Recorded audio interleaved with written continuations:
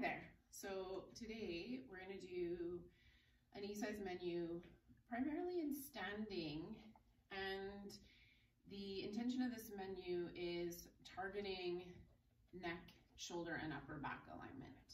So we're gonna start in standing. Um, I like in standing to have a block between the knees and here's why.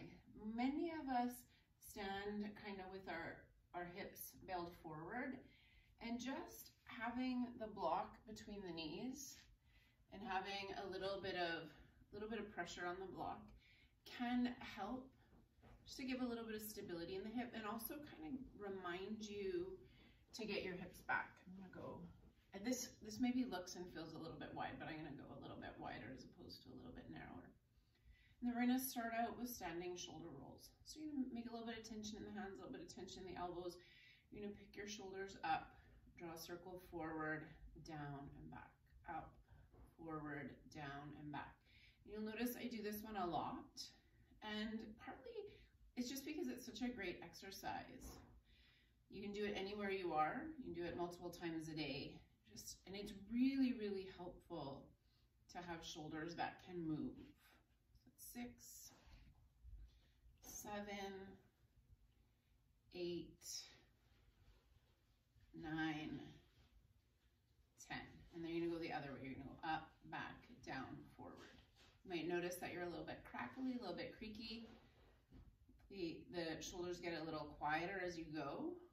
Five, six, seven, eight, nine, ten. I'm gonna repeat that one more time. So just take a moment, pause, relax. Kind of notice if you have a sense that the weight is shifting back into your heels a little bit more. It might be, it might not be. And then same thing, it's up, forward, down, back, up, forward, down, back. Three, four, five, six, seven, eight, nine, 10. Now we're going the other way. You're going up, back, down, forward. Two, three, four, five, six, seven, eight, nine, ten. Take the block out, set it aside, parallel feet, pelvis width apart. You're gonna stretch your arms out shoulder height. We're gonna do some stork walks. So stork, stork walks, you're just picking one leg up and putting it down. Want to end up with like a 90 degree hip or as high as you can get. Keeping your shoulders level. I'm going to do 10, 4, 4, 5, 6, 7,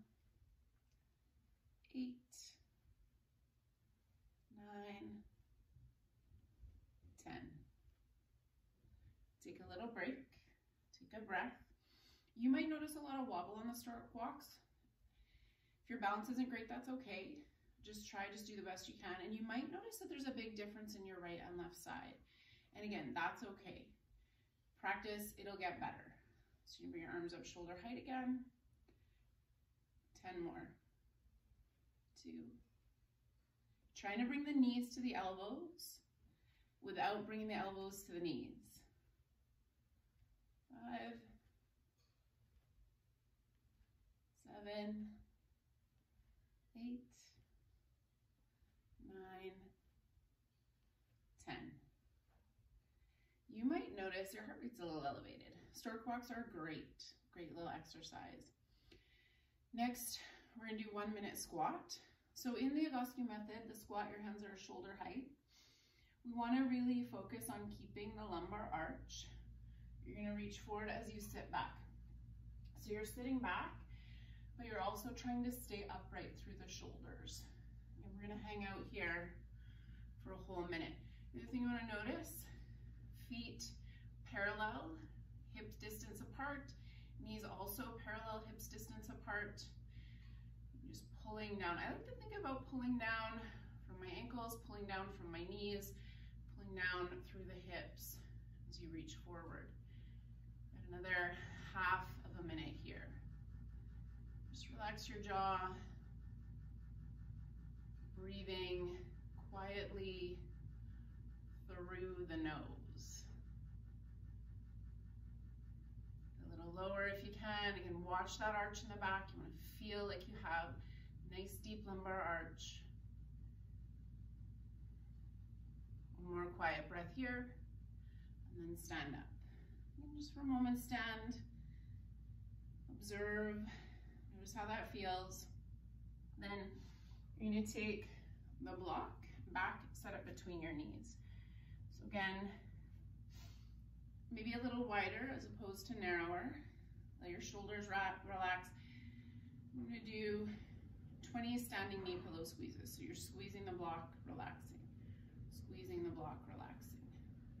Three, four, relax your bum. Five, six, relax your shoulders. Seven, eight, nine, 10, 11, 12, 13, 14, 15, 16, 17, 18, 19, 20. Now, still holding the block between your knees, still parallel feet, hips distance apart. You're gonna stretch your arms out to the side. You're gonna fold your fingers into the golf club grip. So again, the golf club grip is like you're holding a pencil with just your fingers. It's not a fist. The back of the hand is flat. So your arms are straight out from your shoulders. Half of the circle hopefully is going in front of you. Half of the circle is going behind you. Keep your shoulder blades pinched together, doing 40 forward circles. One, two, three, four, five, six, seven, eight, nine, 10, 11, 12, 13, 14, 15, 16, 17, 18, 19, 20, 22, 23, 24, 25, 26, 27, 28, 29, 30, 31, 32, 34, 35, 36, 37, 38, 39, 40. Now, you're gonna turn your palms to face up. Still squeeze your shoulder blades together. Now 40 backwards. One, two, three, four, five, six, seven, eight, nine, 10, 11, 12, 13, 14, 15, 16, 17, 18, 19, 20, 22, 23, 24, 25, 26, 27, 28, 29, 30, 31, 32, 34, 35, 36, 37, 38, 39, 40. And let your arms relax. Set your block aside. Take a moment, just standing and observe how things maybe have changed. Just notice how standing feels. And then gonna get you to come down onto your hands and knees. So we're coming into static extension. So static extension, you want your hands slightly forward. So when you bring your shoulders over your wrists, your hips are slightly forward to your knees. And then it's shoulder blades together. So you're trying to relax your shoulder blades together and let your head dangle. It's really imagining creating a nice deep arch in the back, but focusing on the shoulders and the upper back. Now let everything dangle. And we're gonna hang out here for two minutes. Now, so you're holding, but if your wrists don't love this, we can change it a little bit.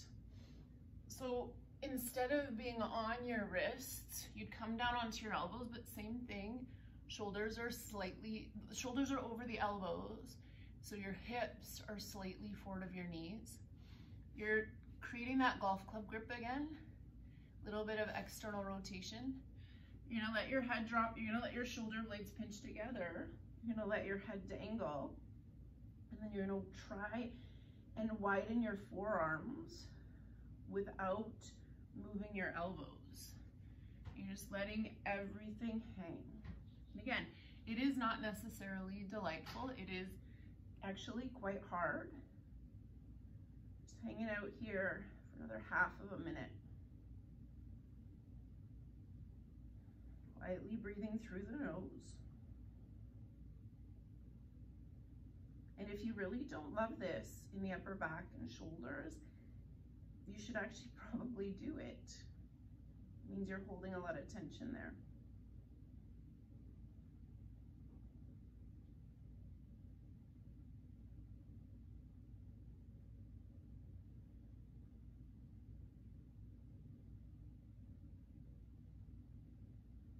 One more breath. Pick yourself up. You're gonna make your way all the way up into standing. One more time, we're gonna have the block between the knees. Parallel feet, hips distance apart. Weights back in your heels. You can just stand for a moment. Again, notice how neck and shoulders feel. I need you to fold your fingers into the golf club grip again. Knuckles by temples. Squeeze your shoulder blades together. Elbows as wide as they can go. Shoulder blades wide, elbows together. So we're doing this 25 times. Three, four, five, six, seven, eight, nine, 10, 11, 12, 13, 14,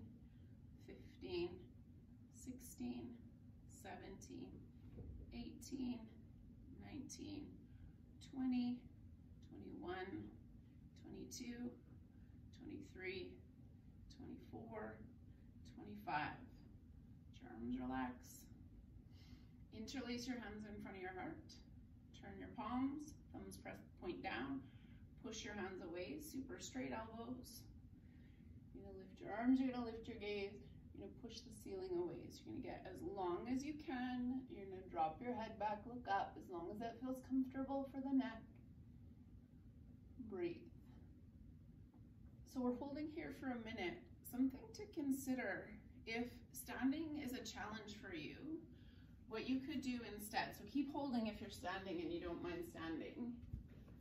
But if standing is a challenge, it is important to recognize that we could do this in seated. So maybe you're at a desk, maybe just standing isn't accessible. All of these exercises can be done in seated. So just making sure that you are pulling the pelvis forward and maintaining that lumbar arch. Breathe.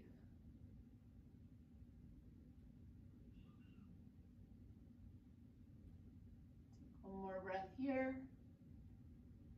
And those arms forward that's it for today.